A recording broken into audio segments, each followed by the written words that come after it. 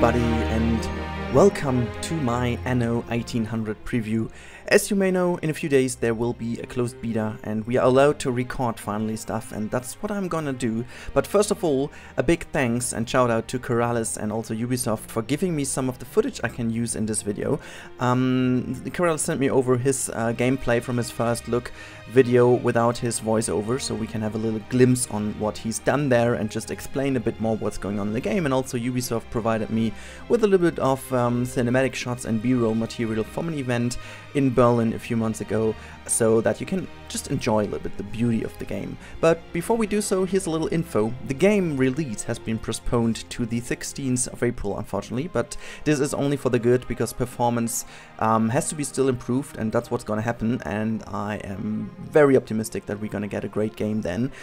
And yeah, I uh, just thought, okay, before we go a little bit into detail with the new game, uh, I will give you a little look into the past of the Anno series. And then from the 31st of January we're gonna have a few days of a little bit of a let's play of the beta and then we can enjoy the game in its full glory. But now let's look into the past of the series. It all started in 1998 with the first iteration of Anno, which was 1602, and it kind of created a new genre of a simulation city builder game that is basically using an, a big area of islands where you have to settle down and on one island first, but then with uh, the time going on, you're gonna settle more and more onto different islands, and um, there is a very in-depth um, simulation of goods and stuff you need to carry to your main island to fulfill the needs of your inhabitants to make them more happy and grow. So that was basically the main target of the game. It, it kind of featured a very nice and lovely graphic, um, which is a little bit isometric, but it was awesome to play and was really a nice opener to a new genre. Anno 1503, which was released in 2003, um, made by Related Designs and also published uh, by Sunflowers, which was also the publisher of the first game, um, was basically just a refined version of Anno 1602 with a way better graphics, but also um, with a way more in-depth uh, value chain or just kind of chain of goods, because it got more in-depth. Um, all the different uh, chains you have to fulfill until you get the final goods were even more um, sophisticated and better uh, made, and was way more important now to have a look onto every goods and stuff which is available on the islands. Um, but that was basically all that has changed for the first game. And so the game was a very good um, evolution of the first game, but not really a revolution. Anno 1701, which was released in 2006, um, was a bit more of an evolution and revolution at the same time because it um, well, for the game me mechanics, it's still built up on the very old mechanics of the first game, which was still on the big island. Um, make sure that your people live to the best and get all the goods they need. But on the other hand, you had a very in-depth Senate system where it was important that you are uh, good in your politician uh, relationships with all the other players in the world. And that made sure that you had some advantages. For example, you could spy on other islands to know how many kind of different um, pioneers or aristocrats and stuff they had. Uh, but other than this, this the, the game was just very much like the old games with an improved graphics and basically the same mechanics as before. Anno 1404 is potentially even until today, the the most favorite Anno game of all time. I think um, if you look into the forums or with the fans, Anno 1404 uh, is simply the most loved game in the whole series, and for several reasons, I should say. Um, me personally, I love the game as well. I have several thousands hours uh, in the game for sure. It was released in 2009, and it featured so many new things like monument builds.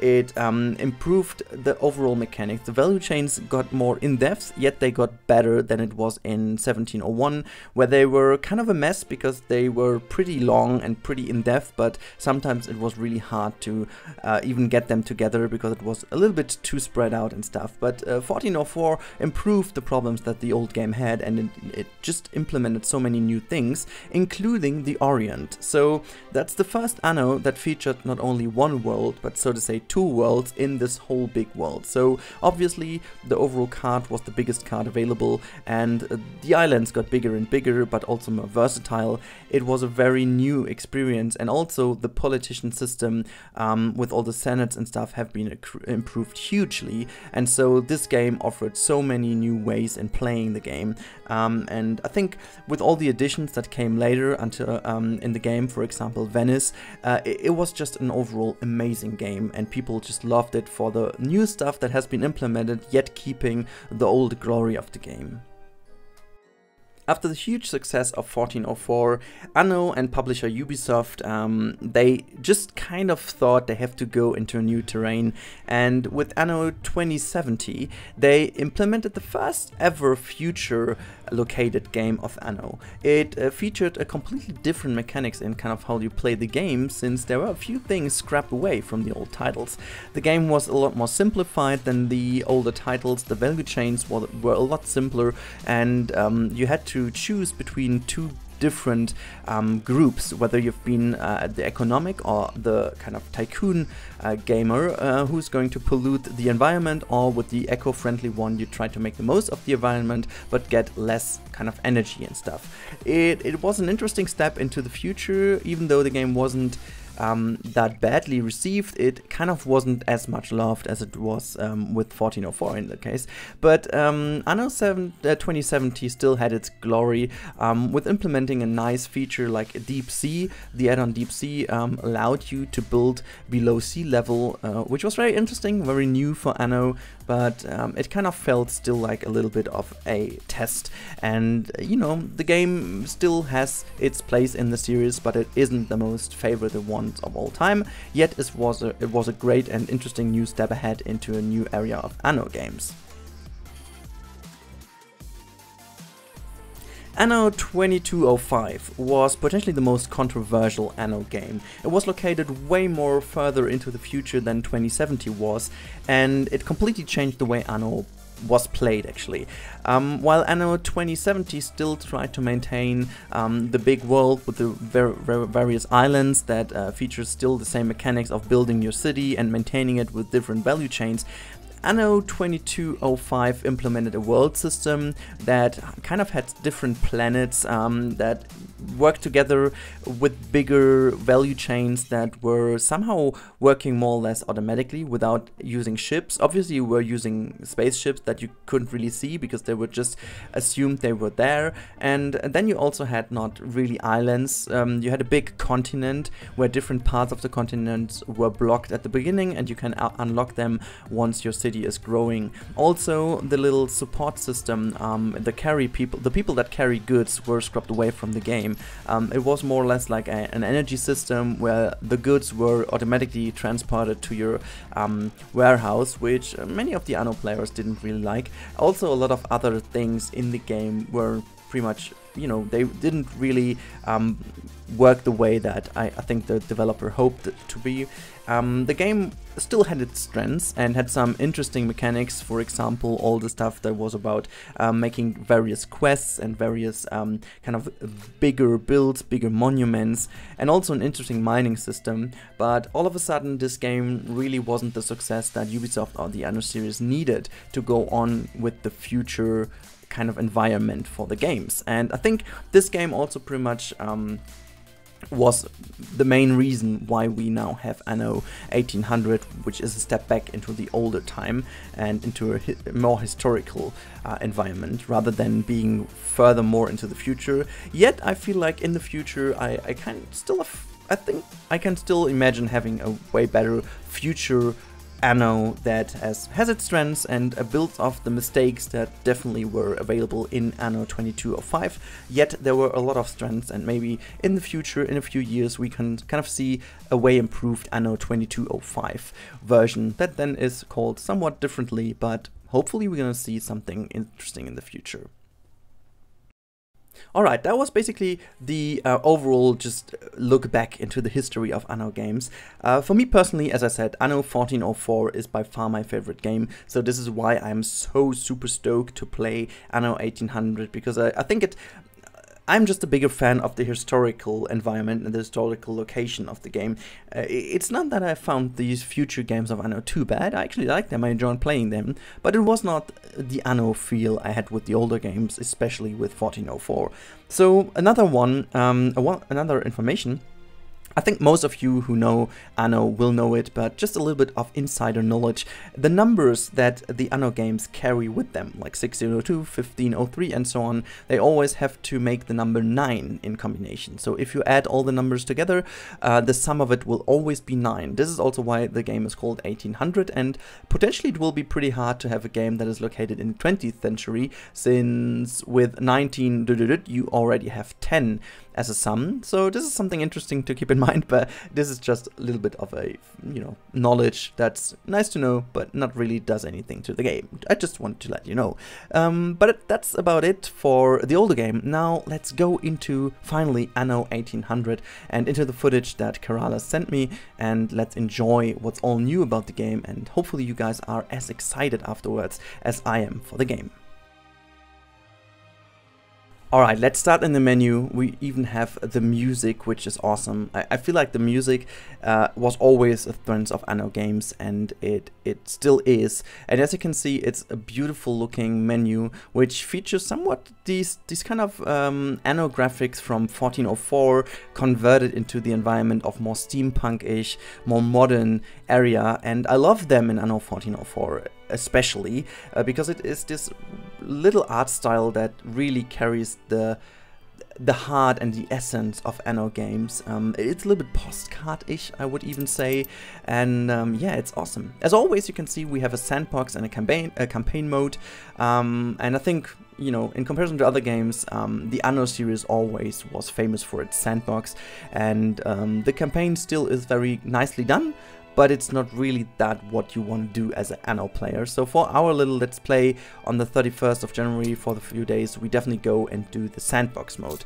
Um, as always, you can choose different characters, even though just mentioning uh, Keralis is in the game as a character, which is awesome. Not the one to choose, but he's like a side character, which is awesome, and I'm so happy for him.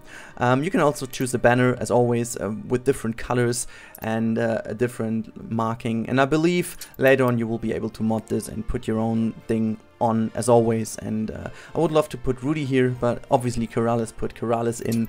So this is pretty normal. As always you can choose the various modes um, if you want to play normal advanced or expert.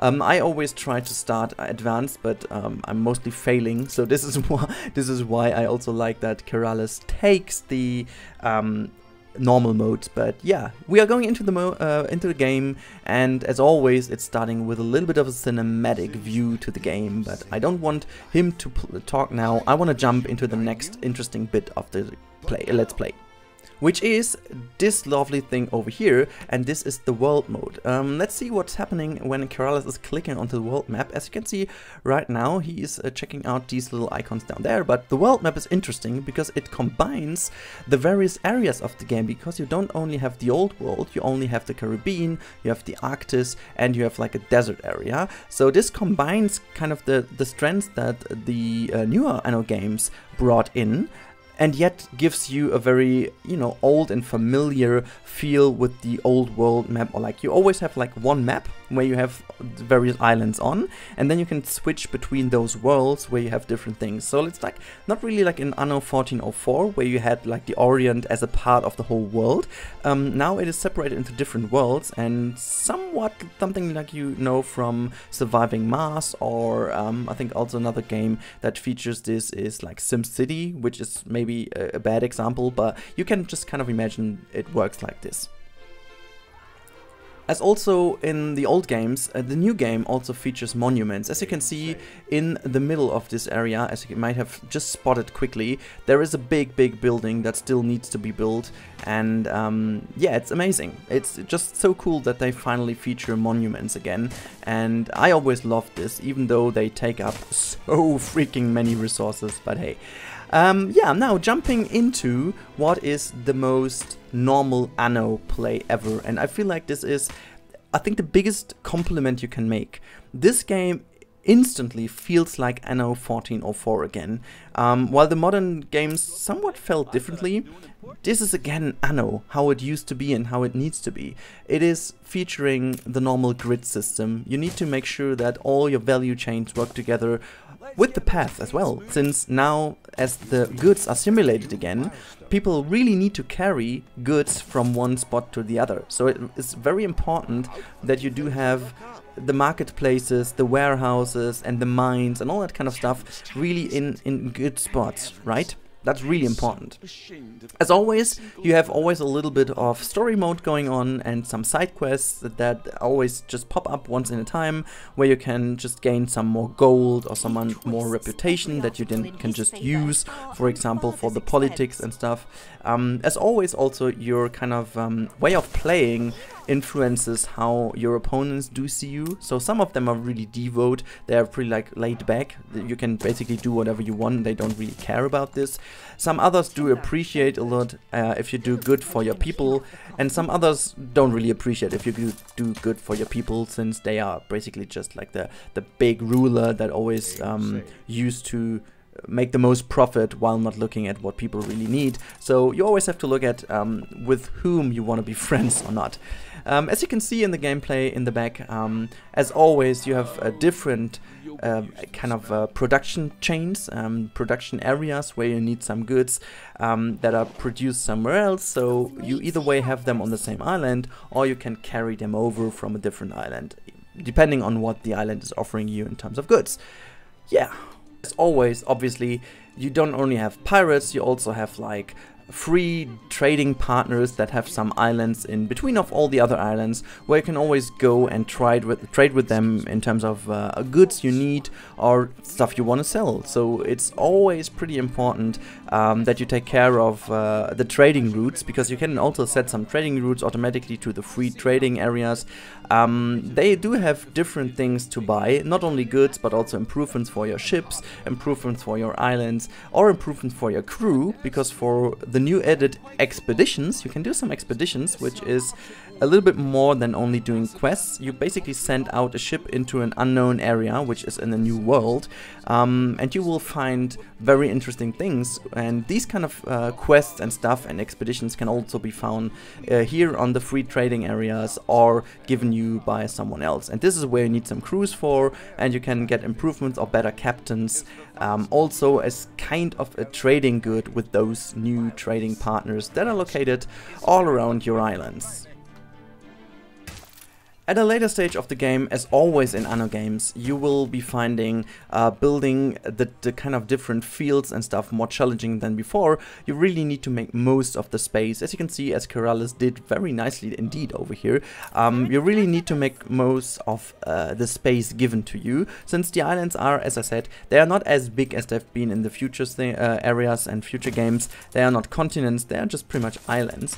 Um, one thing that is really cool to note, which they took from the um, future games, um, you can still build stuff already, and you can see them slightly ghosting over there. Um, this means they can't really build the building yet, because they don't have the resources. You can already place it. As soon as the resources are done, you can just click the building and fulfill the job, which is cool, because so you can plan ahead uh, your city, more or less, um, without blocking the space, because otherwise you would kind of, I mean, at least I would do so, um, you would then accidentally put something else in the spot where you actually would build something else. So this is pretty cool and will help you to plan ahead a bit better. One thing that is so super obvious and it seems to be normal, yet it's new again, is simple disasters such as fire, disease or something like that. Because obviously, um, you would actually expect that from an Anno game, but in the older games, like in the future games, you didn't really have those little things. You only had these big disasters that were kind of a part of a bigger quest. You didn't really have a little thing like this, which always keeps you busy, and this is what Anno is for. Anno is keeping you always busy. The game really makes you rebuild and rethink your city the whole time, and this is not only down to the various new value chains and the needs you need to fulfill, but also due to these little disasters. And trust me when I say fire is always starting where you don't really have a fireplace in the near uh, in the in the near area. So it is really important to always uh, make sure that your infrastructure is uh, supporting everything in this game. Because one thing I didn't really talk about is that this game also features um, one thing that was implemented with the future games and I think is a good addition. Um, you can't really have all people go to the highest level, for example, which means you always you will always need the lowest um, level of people, you will need the second level, the third level, and the fourth level because kind of different factories and production chains will demand different people to work in, which means that their houses are also keeping on the lowest level and be a lot more potential uh, threats in terms of fire and diseases. Um, so this is something you really need to plan ahead, while bigger and more modern building buildings that use, for example, electricity in a later stage of the game will have less um, danger of burning down, the older ones will definitely do so and you can't really upgrade everybody since then all your production wouldn't work any longer and so this is really an interesting implementation of the game. But I think we just talked a lot about this game now and I think we talked enough about this. I can't really wait to get my fingers onto it. So on Friday um, you're gonna see the first episode. Maybe I can squeeze it on Thursday already but I'm not too sure about it since I'm coming back from work pretty late. Not really sure when the beta is really available but at latest on Friday you're gonna see the first episode and I would love to see you all there and kind of make it uh, a game or a little let's play where you can really get your infos, get your input in so that I can build upon your request and uh, try out the most of this game and get creative basically because this game allows finally again to be creative in building since a lot of things have been re-implemented that were missing in the future Anno series. Well, I hope you enjoyed this little look into the game and the old games, and I hope you are as excited for the next Anno as I am, because I'm definitely very excited. And I hope you uh, enjoyed this and now have a wonderful rest of the Sunday and have a great new week. Until then, bye bye.